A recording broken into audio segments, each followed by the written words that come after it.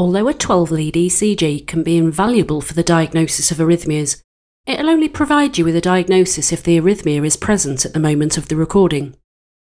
This isn't a problem for persistent arrhythmias, such as persistent atrial fibrillation, but it does pose a major challenge for intermittent arrhythmias, such as paroxysmal atrial fibrillation.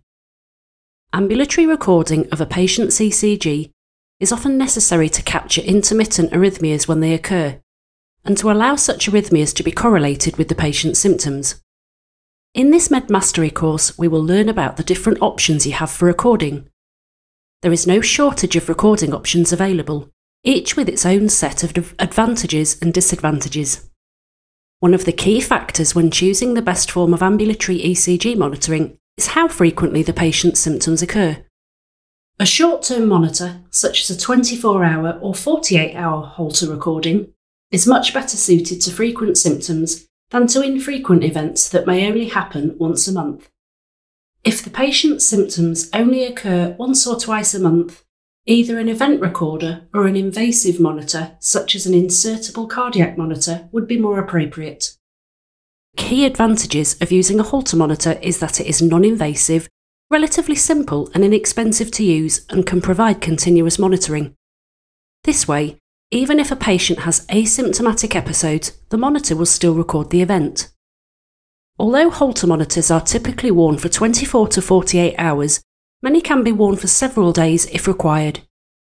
Anything beyond a week is likely to be problematic due to both the limited storage capacity of the device and irritation the patient might experience from prolonged use of the adhesive electrodes.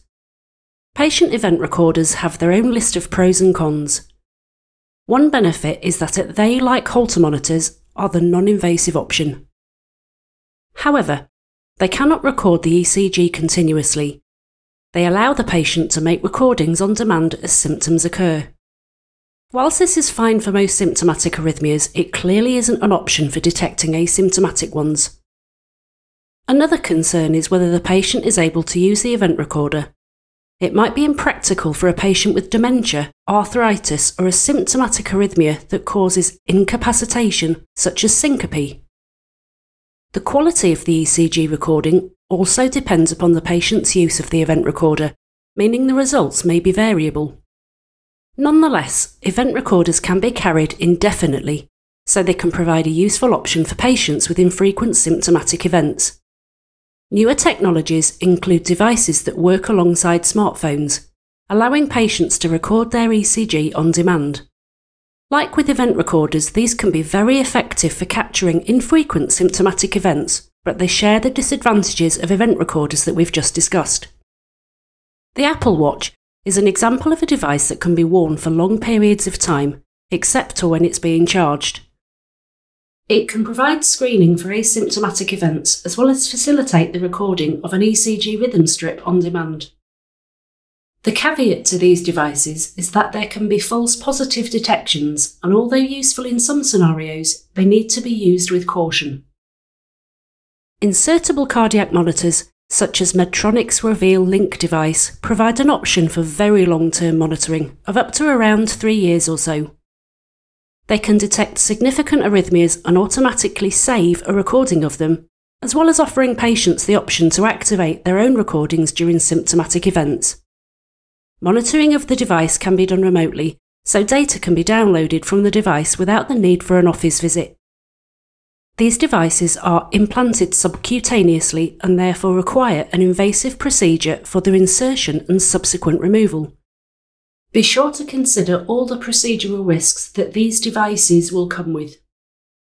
In summary, there are many factors to take into account when choosing between ECG monitoring options.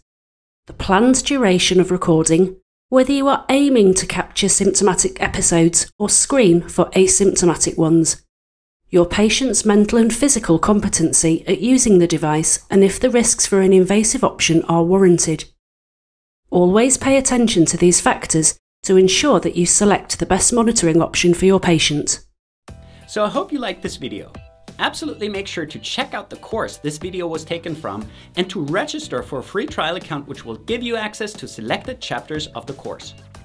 If you want to learn how MedMastery can help you become a great clinician, make sure to watch the About MedMastery video.